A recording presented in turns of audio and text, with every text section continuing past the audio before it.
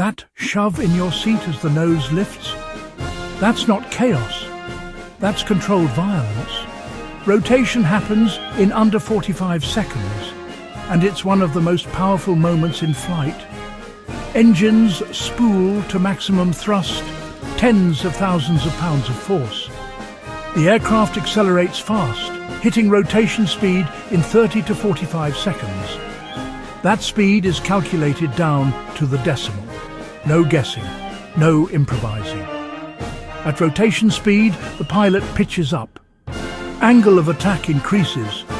The wings generate more lift than the aircraft weighs, and the wheels leave the ground. Even now, it can climb safely on one engine by design. That pressure in your chest? It's thrust overpowering drag and inertia.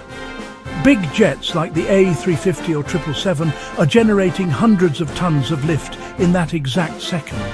It's not turbulence, it's precision physics, precise speeds, certified engine outperformance, rehearsed choreography. Rotation isn't a risky moment. It's the moment flight is born. Raw power, controlled perfectly.